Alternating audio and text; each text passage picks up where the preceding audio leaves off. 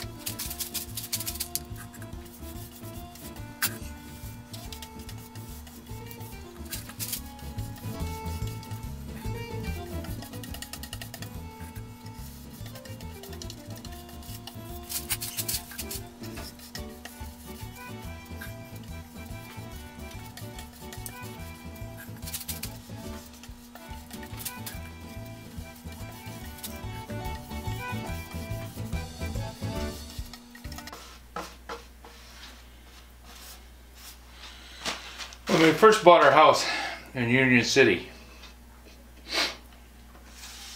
it was a big old Victorian farmhouse. And by Victorian, it had uh, stained glass windows and French doors between the living room and the dining room.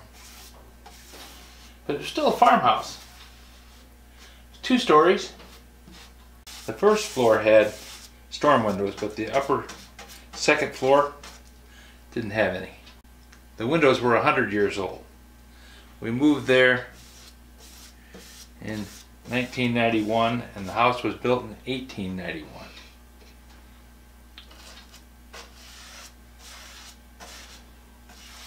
So trying to find storm windows to fit it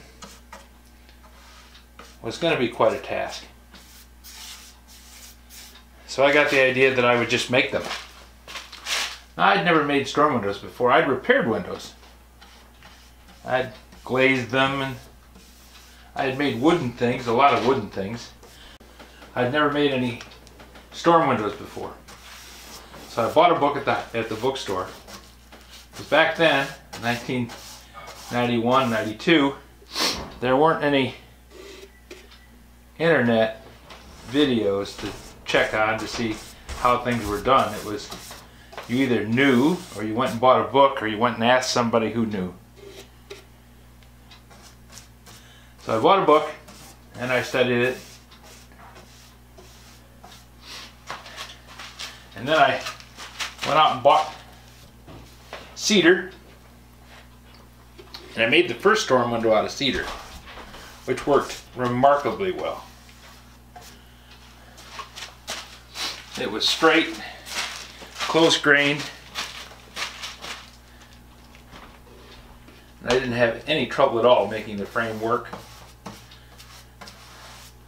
I bought a table saw and this is the first time I'd ever owned or used a good table saw. My dad had a table saw that he made, but it wasn't a good one. It, it worked, but it was a long ways from a good table saw. And the one I bought was a Craftsman, which meant that it was the best I could afford, but it wasn't the best in the world. But I made that first storm window. I painted it while it was hanging in the workshop. I put screws into the main beam in the center of the building. And I hung the windows as I made them on that beam. And I painted them. They look beautiful.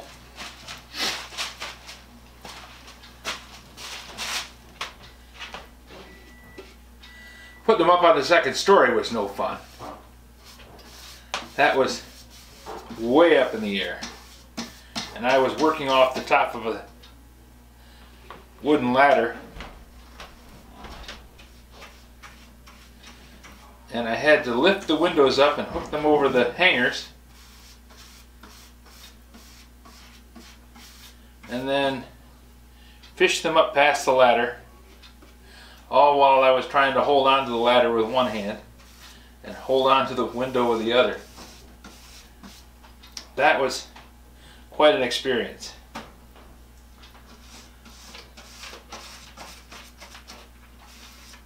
After that first cedar window, I made the rest of them out of pine because cedar was expensive. By the time I bought the cedar, and bought the glass, and put all of it together, I had a chunk of money in that. The pine wasn't cheap, but it worked. Just had a couple of problems. I had one window that worked on me. And that was a rather frustrating time.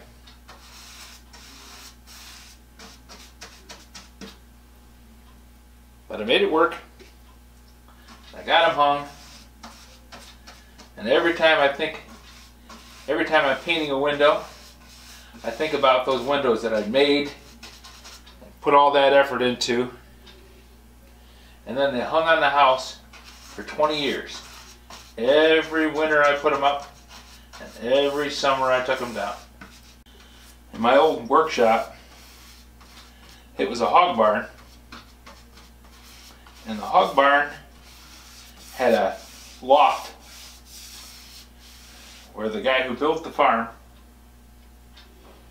had a granary, kind of a corn crib up on one end where he could put the hog feed.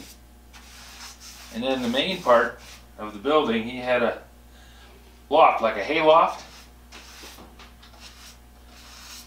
So when I took out the gray, the grain bin, the corn crib on the end, it left a big hole in the floor.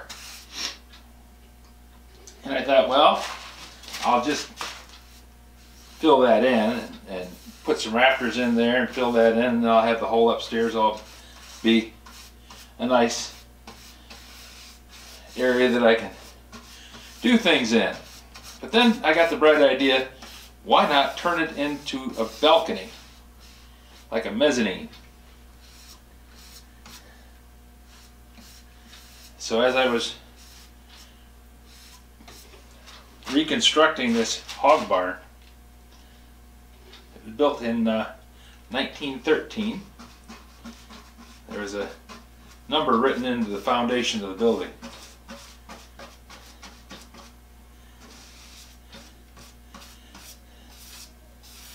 I built it with a balcony and a mezzanine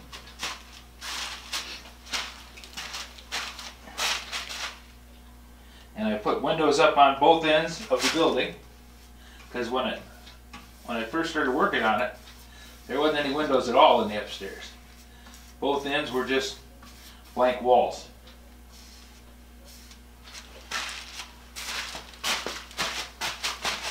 so after building the storm windows I had enough confidence I went ahead and built tilt out windows for the upstairs tilt out windows for the downstairs workshop.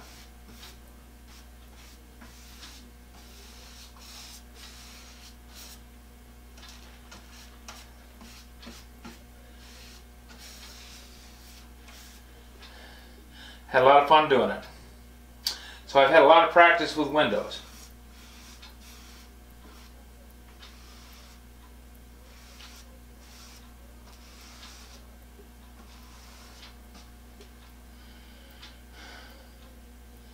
And here when Ryan's moving, and we spent almost as much time on his garage as I did on that hog barn. I'm fixing the windows for that too.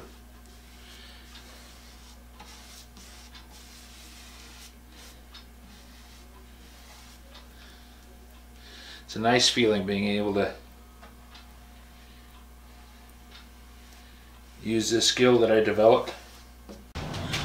This is a can of Dutch Boy paint and it comes in a plastic bucket. It's kind of nice. It's got a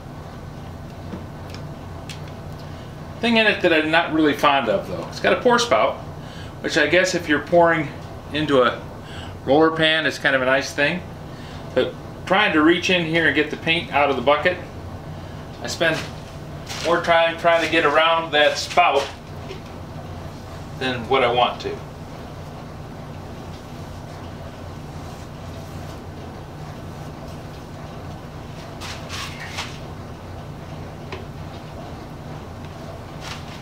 Plastic bail is kind of nice.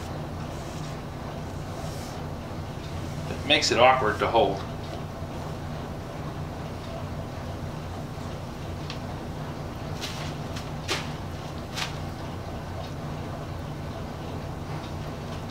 And there, two windows painted.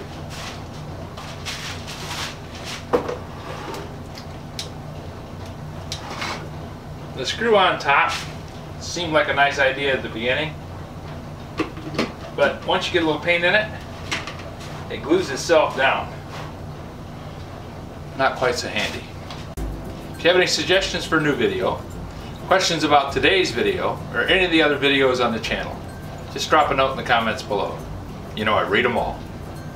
Thanks for watching.